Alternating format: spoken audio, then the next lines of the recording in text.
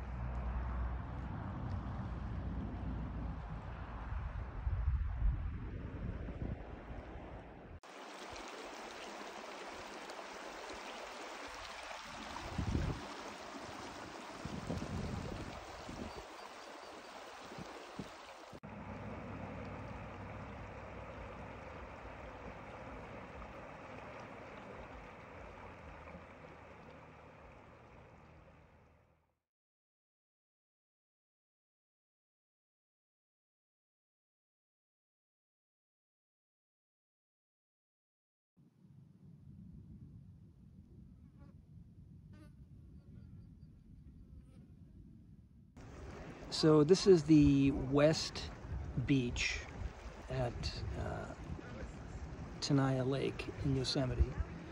And it's a beautiful day. And it's 8,000 feet, so the water is super clear.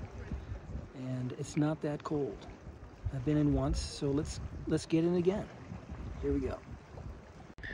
So you see how clear the water is. It's shallow for a while. Looking east. Swinging around to the west. It's a big lake. So let's keep going.